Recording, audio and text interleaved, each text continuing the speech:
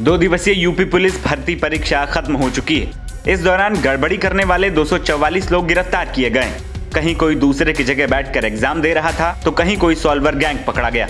Social media पर paper leak की खबरें भी तैरती रहीं। इसको लेकर खुद सपा मुखिया अखिलेश यादव ने सवाल उठाया। उन्होंने कहा कि पुलिस भर्ती परीक्षा 2024 के सभी सत्रों का पेपर लीक होने की न्यूज़ सोशल मीडिया पर स्क्रीनशॉट के साथ फैल रही है, जिससे लाखों बेरोजगार युवाओं में आक्रोश का माहौल है। लगभग साठ लाख नौजवानों ने परीक्षा लिखी है। और जो खबरें मिल रही हैं और जो सुनने को आ रहा है सोशल मीडिया और अखबारों के माध्यम से, जो चर्चा में है कि पेपर लीक हुआ है। मान लीजिए, उसमें एक लाख बच्चे सौ परसेंट नंबर पा गए, या दस लाख बच्चे बहुत अच्छे नंबर पा गए। तो क्या सरकार उन सबको नौकरी देगी?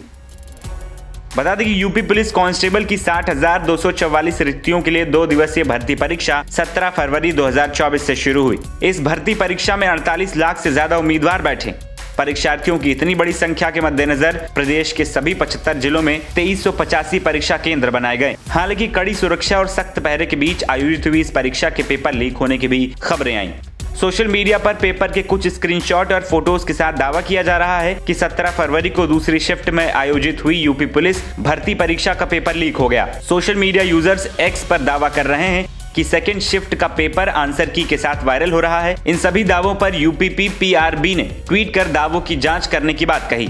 न्यूज़ एजेंसी को अधिकारियों ने रविवार को बताया कि बलिया ज़िले से चल रही पुलिस कांस्टेबल भर्ती परीक्षा में कथित धोखाधड़ी के आरोप में पुलिस ने चौदह लोगों को गिरफ़्तार किया। इसमें एक वन विभाग और स्वास्थ्य विभाग का टेक्नीशियन सहित तीन गिरोह के 11 सदस्य और तीन लोग कथित तौर पर परीक्षा में अभ्यर्थी के रूप में शामिल हुए।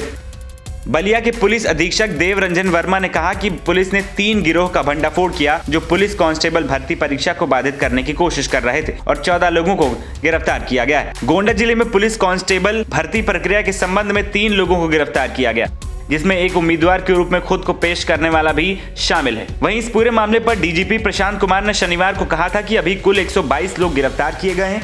एटा, मऊ, प्रयागराज, सिद्धार्थनगर, गाजीपुर, आजमगढ़, गोरखपुर, जौनपुर, फिरोजाबाद, कौशाम्बी, हाथरस, झांसी, वाराणसी, आगरा, कानपुर, बलिया, देवरिया और बिजनौर में गिरफ्तारियाँ हुई। हालाँकि ये आंकड़ा रविवार को 244 को पार कर गया। देखने वाली बात ये होगी कि क्या सोशल मीडिया पर चलाए जा रहे ट्रेंड पर जाँच किए जाने के बाद पेपर लीक की पुष्टि होती है या फिर नहीं? और अगर होती है तो क्या परीक्षा रद्द होगी? ये तो देखने वाली बात होगी। एनबीटी ऑनलाइन की रिपोर्ट।